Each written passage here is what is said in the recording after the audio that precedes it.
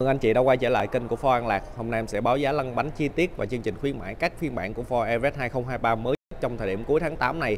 Thời điểm hiện tại Ford Everest đang có mức giá ưu đãi cực kỳ tốt và tặng phụ kiện rất là nhiều. Có tổng cộng 5 phiên bản.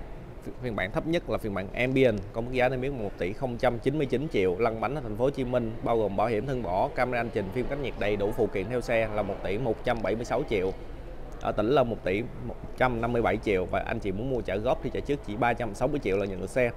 Tiếp theo là phiên bản Ares Sport sẽ cúng giá niêm yết là 1 tỷ 178 triệu lăn bánh đầy đủ phụ kiện và bảo hiểm 2 triệu cho anh chị là ở thành phố Hồ Chí Minh là 1 tỷ 264 và ở tỉnh là 1 tỷ 245 triệu. Đến vị trả góp thì trả trước 380 triệu là nhận được xe.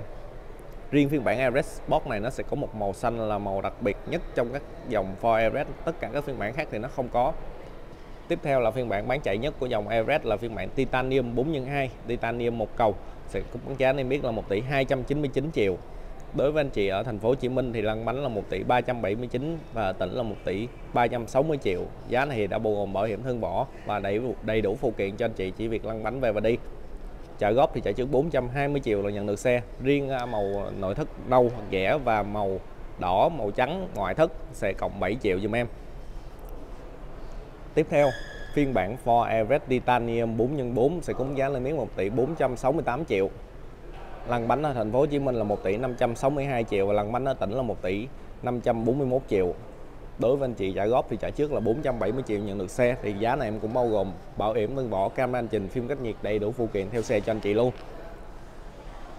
Và phiên bản cuối cùng cũng là phiên bản cao cấp nhất là Everest quay chắc thì nó sẽ có giá lên miếng 1 tỷ 499 triệu lăn bánh ở thành phố Hồ Chí Minh đối với anh chị à, trả thẳng thì là 1 tỷ 607 triệu ở tỉnh là 1 tỷ 586 triệu còn đối với anh chị trả góp thì trả trước 480 triệu cho phiên bản này là có thể nhận được xe Hiện tại em có đầy đủ màu cho cả năm phiên bản có thể giao ngay cho anh chị trong thì cuối tháng 8 này cam kết với mức giá ưu đãi tốt nhất. Đặc biệt anh chị có nhu cầu mua xe trong cuối tháng 8 này em để trên màn hình. Anh chị có nhu cầu thì liên hệ số điện thoại em để trên màn hình. Cảm ơn anh chị rất nhiều.